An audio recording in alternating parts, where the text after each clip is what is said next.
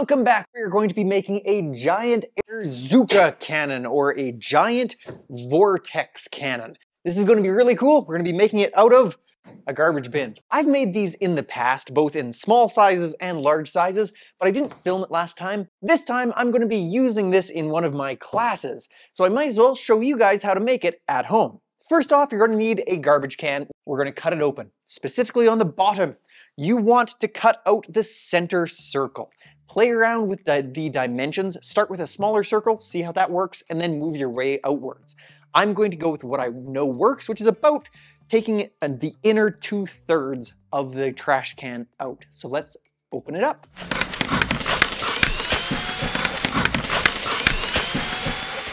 Now, as you can see, there's a hole straight through this trash can.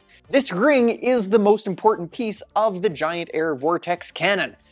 As long as you have a circular ring at the bottom of your trash can and you force air through it, somehow that will create that effect of throwing that air a long distance. Let's create the back end. We need to cover the mouth of the trash can. Now I'm going to be using six millimeter poly, but you can use a tarp or anything else that is uh, able to catch the air. So if you want, you could just drape it over and tape it just like that. But I'm going to actually cut a nice circle.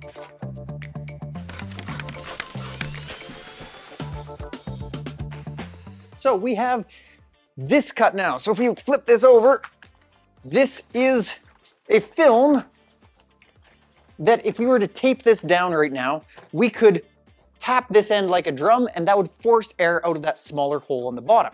That would create really nice smoke rings. But we want more of an, a dramatic effect. So what we're going to do is we're actually going to indent this and make it stretch. How are we going to do that? Bungee cords, yes. You're going to want two that are about the same. And I will find a few here. What you're looking for in the bungee cord is to be able to stretch across the large end of the trash can and have it pretty tight. So if you want to make it permanent, you can actually drill holes in the trash can and make it a little bit permanent. But since I might be taking this apart and using the bungee cords for something else, I'll just stretch them across and hook them onto the lip of the trash can itself. The next thing is the handle. So I'm going to be using a water bottle, but you could use a pop bottle or even a piece of rope if you want. Essentially, I just need something that I can put on the inside of here that when I pull it back, it will stretch the bungee cords. And when I let go, it'll snap back into place. So let's see how this works.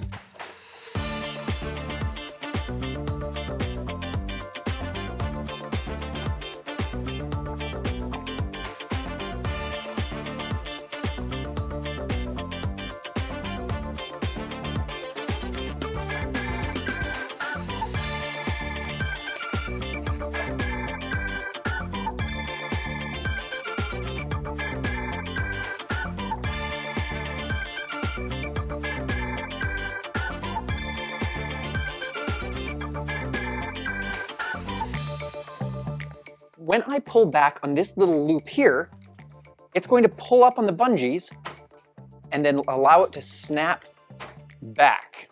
The next step is going to be taping down the edges so that no air can get out except for through that big hole on the bottom of the trash can.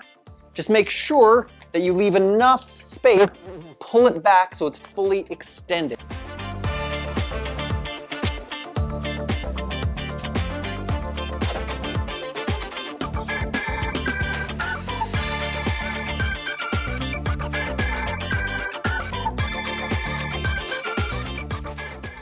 I have created an entire film that is sealed. So the only way that air can get in or out of this trash can is through this hole that I cut on the bottom.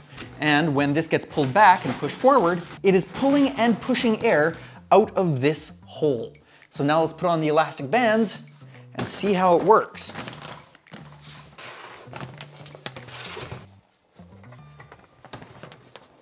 Now that we've actually finished making the giant vortex cannon, let's set up some streamers and test out exactly how far away we can throw the air.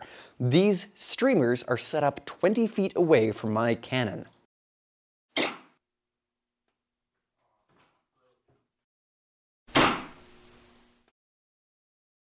Take a look at how slow the air is moving. This is moving at a brisk walking speed. It's very cool how it holds its shape and still travels through the air. So basically, that's how you make a really large vortex cannon. We added in a few extra uh, bungee cords because the more spring it has, the more pronounced the effect is going to be. Now, if you have a smoke machine or a fog machine, you can fill the garbage can up with fog and see the rings being shot out. If it's too ambitious to make a huge one, you can always make a small one. And when I do classes in person, this is what we use.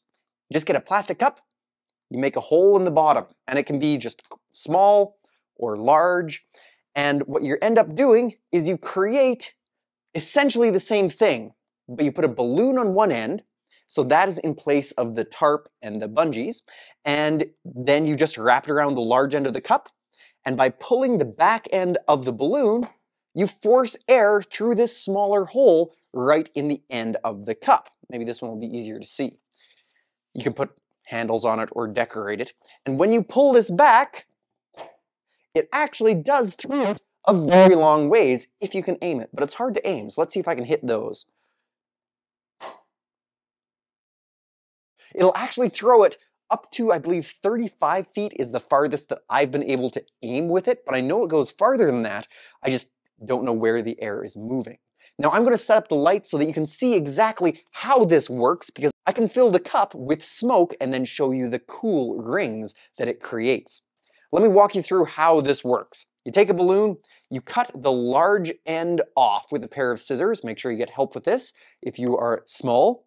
Tie a knot in the end without blowing it up. Just like a normal balloon knot.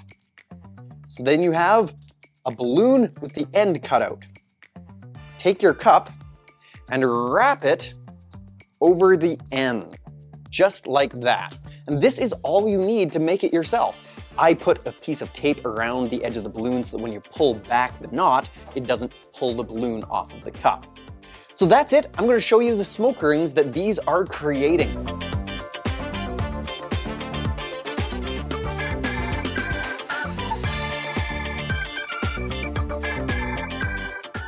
You can see exactly the rings as they come out and float in the air because of Bernoulli's principle. Now, Bernoulli's principle states that the faster that a fluid, or in this case air, is traveling, the lower its pressure. And because we're forcing a large amount of air through a small opening, it creates a low pressure ring that keeps its shape as it travels through the air. That is so cool. Until it hits something, it will just continuously travel just like that. That is so cool.